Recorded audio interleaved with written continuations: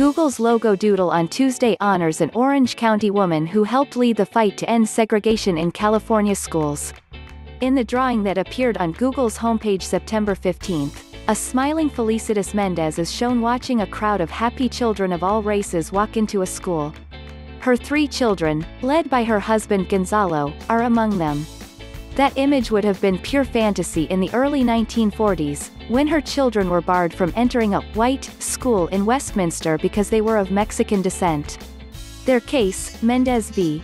Westminster, led to the end of public school segregation in California and paved the way for the federal Brown v. Board of Education, which ended school segregation across the nation.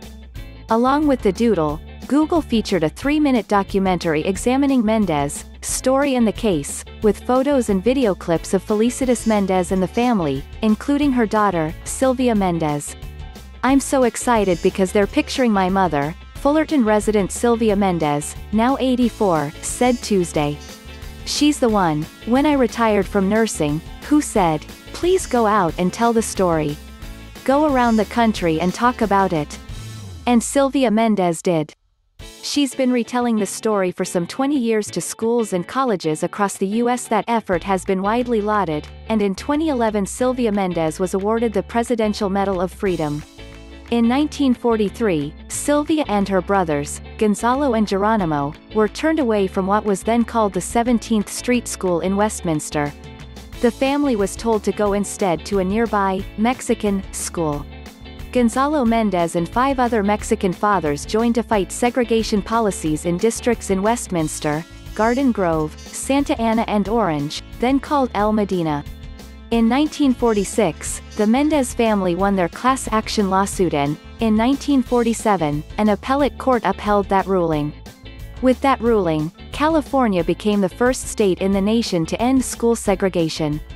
The drawing and the brief documentary, posted on the first day of Hispanic Heritage Month in the United States, is the featured doodle on the site for 24 hours, a Google spokeswoman said.